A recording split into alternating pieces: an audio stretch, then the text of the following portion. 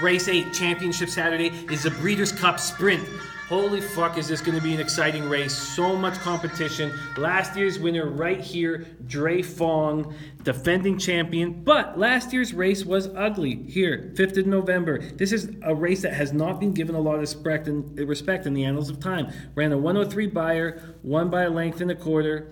Mind your biscuits who came in third in that race, is also in this race. We'll get to Mind Your Biscuits in a second. Mind Your Biscuits is an interesting horse because in a sprint, you think that you just run right to the pace. But no, Mind Your Biscuits comes from behind and is a pretty special horse. Now, Drefong has not run against a real fast pace.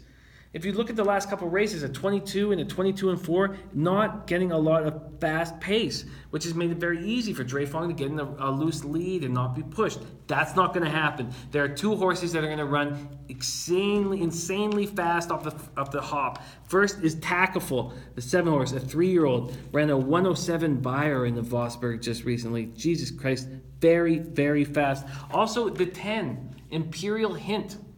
Imperial Hint will be flying. Both Takaful and Imperial Hint will go after the league. Jose Ortiz is on Takaful, JJ Castellanos on Imperial Hint. They will not allow Mike Smith and Drefong to get a loose lead, to get an easy lead. Ta- um, Imperial Hint has won six of his last seven starts, five consecutive triple digit Beyers. Very impressive. Takaful and Imperial Hint are going to be very dangerous here. So is the eight, Roy H. Roy H should be on a five race winning streak, but got unlucky here at Del Mar when a riderless Drefong got in his way. Drefong, two races ago at this very park, Del Mar, tossed his jockey Mike Smith right off the hop, and then a riderless Drefong fucked up the whole race. In that race, Ransom, Ransom the Moon won it, and it was a fluke. Ransom the Moon did not look good in the Santa Anita Sprint Championship recently, but had put up three straight triple Beyers, so it's not someone that we should just completely forget about. The five Whitmore is a dangerous horse, had a five race winning streak snapped in the True North Stakes by none other than Roy H. Whitmore is 8 for 10 sprinting, but might not be fast enough for these.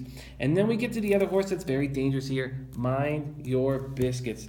Looked incredible in the Golden Shaheen. The Golden Shaheen in Dubai dominated this race and came from pretty far back and completely dominated it. If there's a huge pace, Mind Your Biscuits can come running. I'm not sure what I'm going to do in this race. I do know that I'm going to take a whole bunch.